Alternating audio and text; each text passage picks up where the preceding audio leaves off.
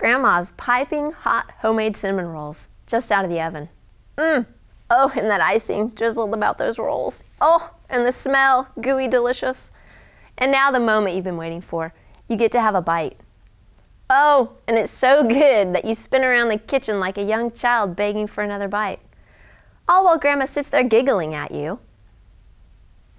In order for you to fully enjoy this scenario, your special senses were stimulated. What are those special senses? Can you list them? I'll give you a hint. There are five of them.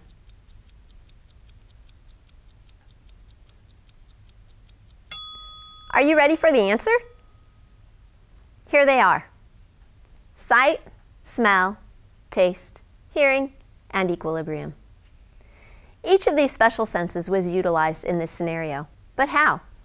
How did the photon of light entering the eye, the sound waves from grandma's giggling entering the ear, the odorant coming from the rolls and the chemicals in the food get turned into electrical signals, and where did those electrical signals go? And how did you maintain your equilibrium while spinning about the kitchen? We know that the central nervous system is involved, but how?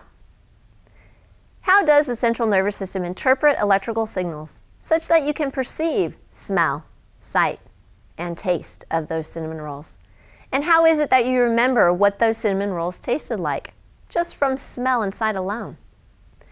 The central nervous system is ultimately responsible for everything we perceive, do, feel, and think.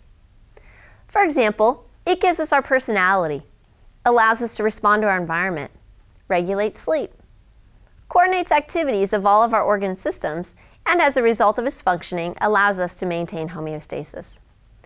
In this module, on the central nervous system and special senses, we will relate structure to function in the brain and spinal cord, describe reflexes, identify areas of the brain that play a role in voluntary function, memory, emotions, learning, language, speech, decision making, and the special senses.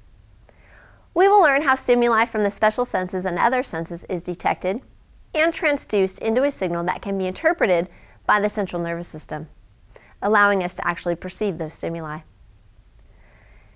And now that I brought up the idea of those cinnamon rolls, I gotta get me one. See you later.